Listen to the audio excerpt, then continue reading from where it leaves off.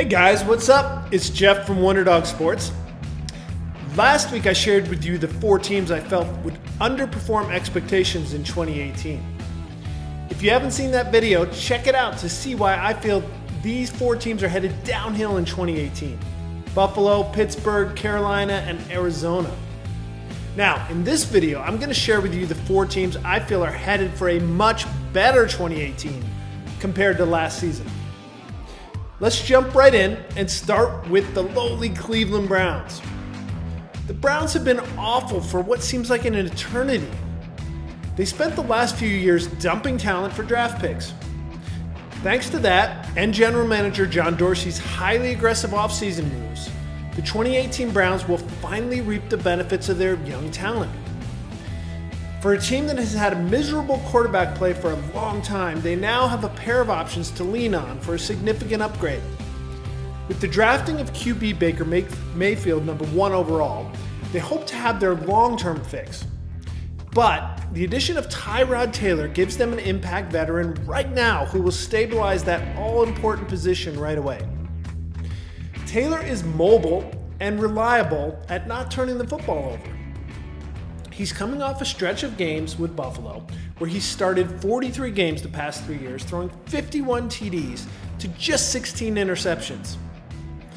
Just as important, Taylor has already impressed the coaching staff and his new teammates with his professionalism, seriousness, and work ethic.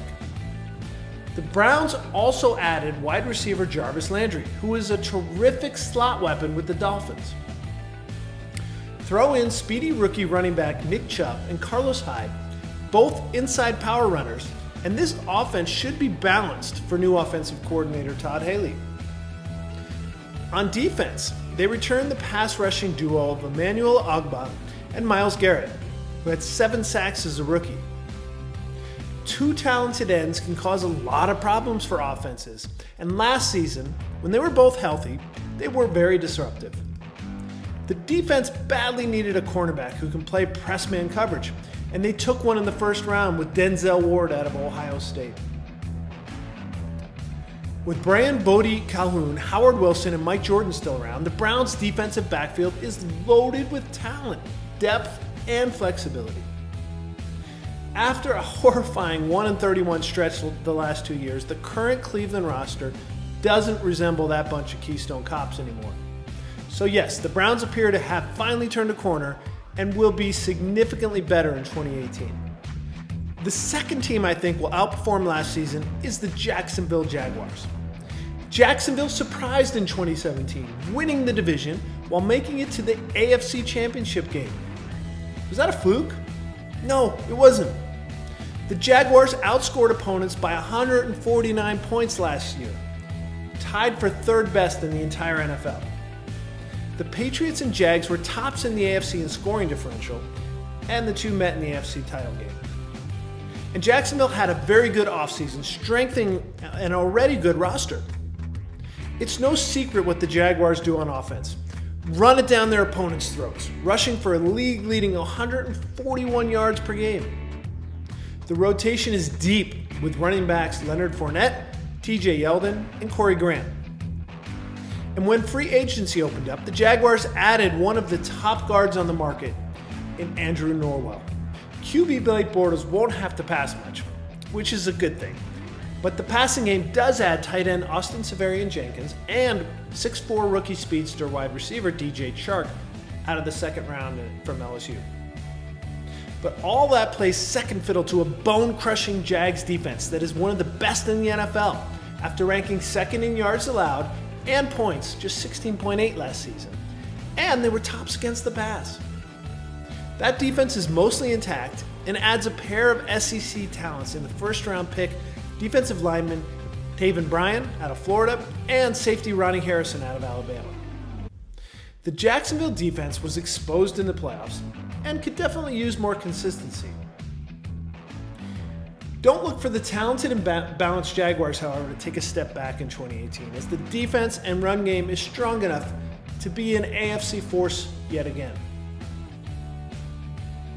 The third team I think will improve markedly from last season is the Tampa Bay Buccaneers.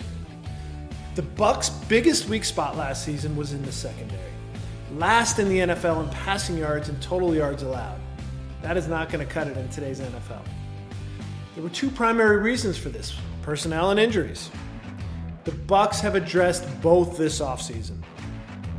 First, they added three players to the secondary and a pair of second round picks in cornerbacks MJ Stewart and Carlton Davis, along with fourth round pick safety Jordan Whitehead. They also brought back a key piece of the secondary in cornerback Brent Grimes. Second, they overhauled their line by signing four new defensive linemen in JPP, Vinny Curry, Beau Allen, and Mitch Unrein. But the bigger addition is first round pick Vita Vea, 12th overall for Washington.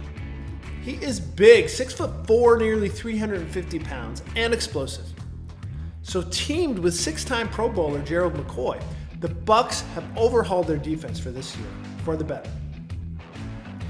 On offense, QB Jameis Wilson, Winston, excuse me, led a passing attack that was ninth in the NFL. And they locked up this season his favorite targets, re-signing wide receiver Mike Evans and tight end Cameron Brate to long-term extensions. Winston will miss the first three games of the season because of a suspension. So keeping veteran QB Ryan Fitzpatrick was a plus. He had seven TDs to just three picks with Tampa Bay in 2017 and should be able to hold down the fort until Winston gets back.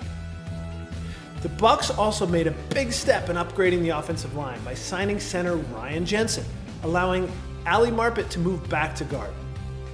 They also drafted USC running back Ronald Jones second in the second round. For a team that went 5 and 11 with a last place finish in 2017, the Buccaneers front office deserves kudos for assessing the weak areas and then doing a fine job keeping what worked and upgrading what didn't look for the Bucs to significantly exceed their low win total from last year. Okay, the final team I think is going to surprise in a positive way in 2018 is the Houston Texans. Houston has found a gem in quarterback Deshaun Watson. Last season, before getting injured, 19 touchdowns to just 8 interceptions. He was dazzling as a rookie. But he's fully and he's fully expected to make a recovery this year starting the 2018 campaign. In what turned out to be his final full game of the season, Watson tore up the Seattle Legion of Boom defense, going 19 for 30 for 402 yards, 4 touchdowns, and 67 rushing yards. This Houston offense would be much better with Watson for a full season. And he has the fastest trio, trio of NFL wideouts to throw to in DeAndre Hopkins, Will Fuller, and newcomer Sammy Coates. The Texans also add third round pick tight end Jordan Akins, who should upgrade that position. The offensive line was a weak spot, but they brought in Seantrel Henderson, Senio Kelemete, and Zach Fulton while drafting Mississippi State tackle Martinez Rankin, another third round selection. Houston's defense was strong last year against the run despite numerous injuries, injuries and they bring back nose tackle DJ Reader and defensive end Christian Covington. JJ Watt and Whitney Mercilus returned from injuries and team with former number one overall pick Jadeveon Clowney, who has emerged as one of the top edge rushers in the league. Mercilus had 19 and a half sacks in two seasons prior to 2017. The defensive secondary gets a huge improvement with the addition of safety Tyrann Mathieu from the Cardinals, a dynamic playmaker. The Texans also add cornerback Aaron Colvin from the Jaguars and rookie safety Justin Reid.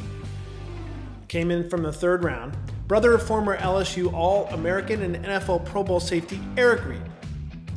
Throw in a talented returning linebacking duo of Benardrick McKinney and second year Zach Cunningham, and this defense looks to be much improved. I look for Houston to improve immensely on their terrible four win 2017 campaign. Okay, guys, that's my view on the four teams that will overperform this NFL season. As always, get all my NFL picks delivered to your email inbox every week over at wunderdog.com.